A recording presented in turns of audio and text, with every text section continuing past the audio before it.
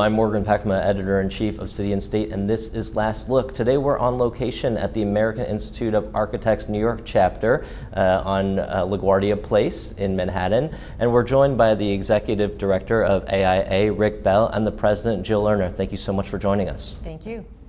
So, you have just issued a, a 30 point platform for the future of the city. Um, can you talk about uh, what, why you have decided to kind of expand beyond your traditional role of advising uh, the mayors and the city council and, and gone into this realm of public policy? Well, when we started the year, we knew this was going to be a very important transition year for New York in terms of educating New Yorkers and educating the candidates on what we felt have been the great successes of the last 12 years and what are the remaining challenges that we really should be addressed in the next administration and which were the really successful policies that should be continued. And so we wanted to go on record and really put forth our ideas about what some of those issues affecting the built environment are. They affect New Yorkers every day, they affect tourism, they affect travel, they affect business um, efficiency, effectiveness, jobs. So many issues are touched by the construction in the built environment and design.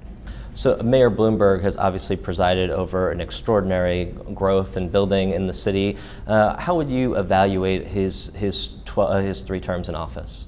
On balance, there have been many, many successes, not just the creation of 800 acres of parks and creating access to the waterfront. Those are very visible, but it's also the very structure of the city, how we think about the possibilities of creating affordable housing um, how we talk about how people get around the city, the uh, uh, creation of uh, new means of transit, the bike lanes, the bike share, have been improvements that we think are going to remain and have transformed how we live in New York. And that's what we catalog in the document that you've been referring to, the victories of the last 12 years, and also how they could be augmented, improved, and in some cases tweaked a little bit. Are these changes kind of baked into the cake now, or is it possible for a mayor to, the next mayor to, to take us really uh, in the wrong direction? Well, that's a great question. I think New Yorkers in general recognize that New York is a better place in terms of its built environment. I think they appreciate all the parks and the park development and uh, all the other improvements that, that Rick mentioned. I think there uh, is a general recognition that the quality of design has made, made this a better place. I think the Barclays Stadium, for instance, has been a huge help. I think there's tremendous excitement about Hudson Yards finally being underway. There's anticipation that in the, the next 10 years we could consider a better place for, for, um, Penn, for Penn Station and uh, get the Moynihan Station really going. So I think there's a lot of uh, great things that have happened, and I think New Yorkers generally recognize and appreciate those improvements. So my hope would be that any next administration would be able to continue to move the ball forward, and that would be a widely uh, well-received policy. I would agree with that and say that every new mayor, any new mayor, is going to put um, their own stamp on priorities uh, uh coming mm-hmm. from their perspective, their constituency, how they got elected. Um, the things that are bricks and mortar and are built, whether it's a particular building or a particular park installation, are irreversible, and, and that's a good thing. Things that have been piloted uh, uh, mm-hmm. need to be made permanent if they work, uh, whether that is um, uh, policy, uh, adapt micro units, or a uh, or, or, an idea that has had a sort of a demonstration fiscal uh, elaboration. I think the thing that's most important is to look at some of the policies, energy policy, waterfront policy, and talk about how things that are conceptual continue and how resources are allocated to make sure that they're real when they take multiple administrations to effectuate, particularly post Sandy. But isn't there also, uh, you know, a fundamental philosophical approach to development that heavily influences the way that our city takes shape. I mean, sure, you mentioned I mean, you mentioned the Barclays Center, right? I mean, that was very contentious battle over Atlantic Yards, and certainly the mayor could have decided to side with preserving the communities in, in place, maybe landmarked areas, you know, and instead of terraforming that area, and that you know would have substantively changed our city. Right. Well, I think that's a case uh, that you're exactly right. And I think uh, what gets developed, where it gets developed, can certainly be hugely impacted by the mayor's priorities. But I think there's so much to do that, uh, you know, whether we invest in infrastructure, hopefully we can do it all infrastructure or continue or, or, or, affordable housing that's really well designed. I think what i would add is that we're all new yorkers and whatever political affiliation uh, whatever ideological starting point the idea that new york is a globally competitive city what uh, right. jill and others at the center have been pushing this year uh, uh is very very important. And that doesn't come from being static. It doesn't come from retrenching Uh, we have great historic districts, over 100 in number, but we at the center have talked and exhibited ways of building in historic districts uh, that are uh, contextually appropriate but allow for growth. So the idea of growth, whether it is in one campaign or the other, the idea of development is not uh, uh, growth, no growth. The city is expanding. It's expanding uh, its population. It's expanding its global influence. Uh, I think whoever is elected uh, as mayor, whoever is elected in the other citywide and local council offices, is cognizant of the need for change and growth, uh, especially if it benefits all people in the city.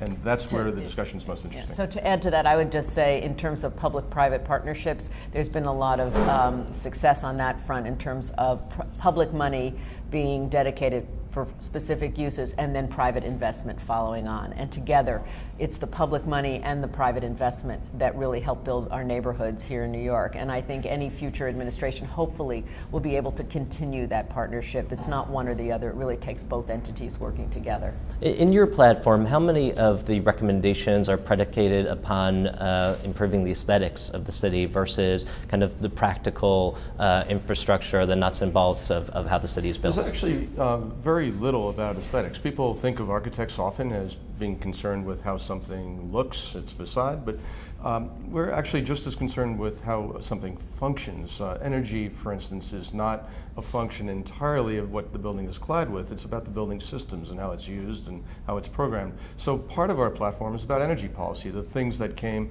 from the uh, uh, uh city's task force and from the mayor's office of long-term planning and sustainability, the continuation and strengthening of that office and passing of some of the local laws that have been stalled uh, that talk about, for just one example, energy policy. A second one, if I might, is on the very nature of government, of how governmental reform might accelerate not just development projects that have been stalled during the recession, but how uh, uh, it uh, helps all citizens of New York, not just the architects and engineers who uh, get uh, shunted from agency to agency for approvals, how we make the process work better, how the structure of city government uh, relates to the development process.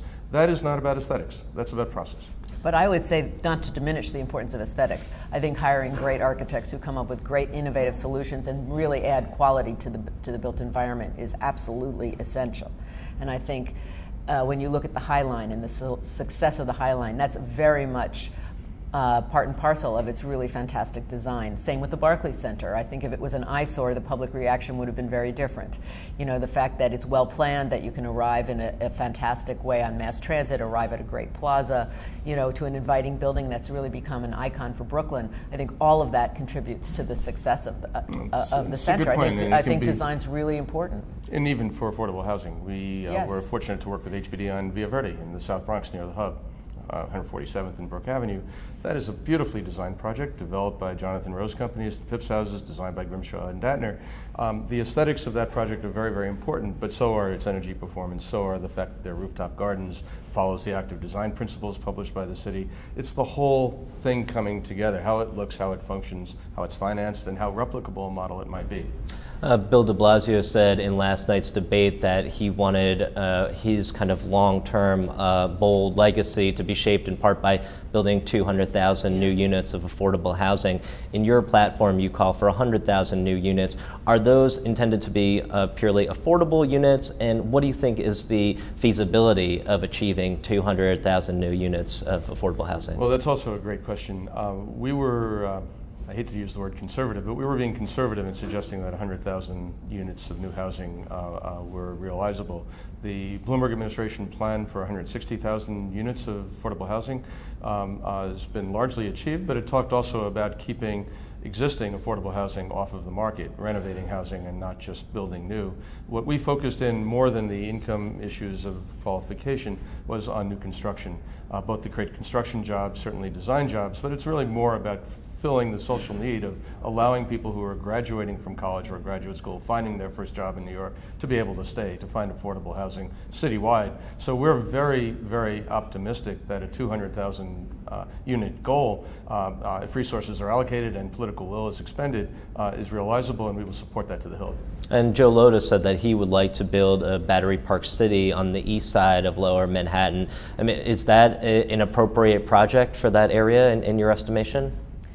Well, I'll, I'll just jump in, sure, Joe, please. Uh, uh, a, lot of what I uh, read in that is about jobs. You know, uh, we have East Midtown, we have uh, uh Hudson Yards. Uh, uh, Lower Manhattan, since 9/11, has become the fulcrum for thinking about the future of the city. It's the visible face arriving to the city, transportation connections with the Fulton Street Transit Hub and with the PATH terminal completed are better than ever. Uh, decent airport links, let's hope. Uh, so seeing the equivalent both for residential and commercial purposes of that balancing act. Right now, uh, Lower Manhattan is very much weighted almost lopsided uh, to the Hudson. Uh, the proposals in the Bloomberg administration and what Joe Lhota is proposing, uh, we would support because it rebalances Lower Manhattan and makes it the magnet that it deserves to be. And Jill, how critical do you think uh, the realization of the tenets of your platform are to uh, the future economic vitality of the city? Oh, I think they're critical. I think they are really critical. I think the uh, you know, people come from all over the world to come to New York and they come to our cultural institutions and they come to see our beautiful city and they come to walk on the High Line and see what's happening here. And I think that is, uh, that is fundamental as well as improving the quality of life for everyday citizens uh, who, who live here and who work here. All of that makes us more, uh, more of a livable city. I think certainly in terms of making the educational initiatives and the applied science initiatives take hold, we have to have the micro units of housing. We have to have an environment that keeps people here once they get, excuse me, once they get here, that they come, they don't want to leave to go to cheaper cities where they can live live more easily and a nicer quality of life. We want to be able to keep them here in New York to help build our economy. And and Rick, to what degree are uh, is your platform uh, a response to the concerns of, of climate change post Sandy? Well, I'm glad you asked that question, Morgan, because uh, a, a, big part of the platform and the part that we've actually gone a little bit further on uh, to elaborate more clear uh, principles of a post-Sandy environment.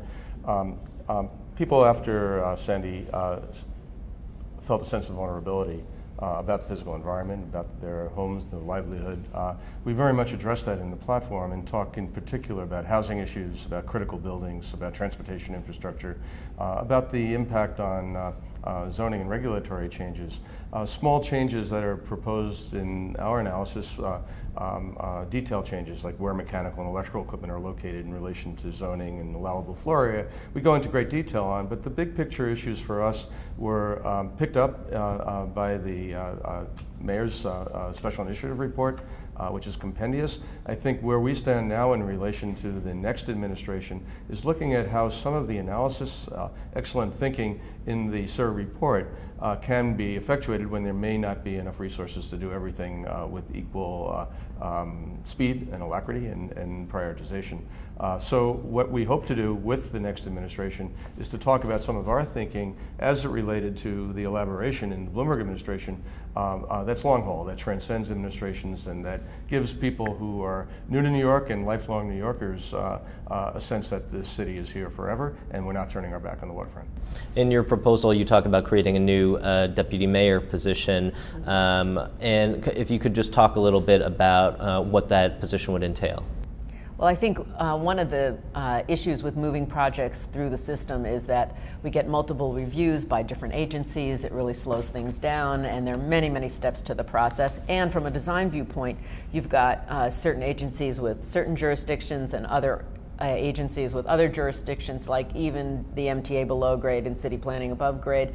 And so, really, if there was uh, someone who was in charge of really looking at things comprehensively, I think we could get better solutions, more integrated solutions, a more integrated process for um, looking at problems comprehensively. These are not siloed issues. The, the, built environment really has to bring together a multitude of, of, of, um, perspectives in order to come up with the right solutions that works for everyone.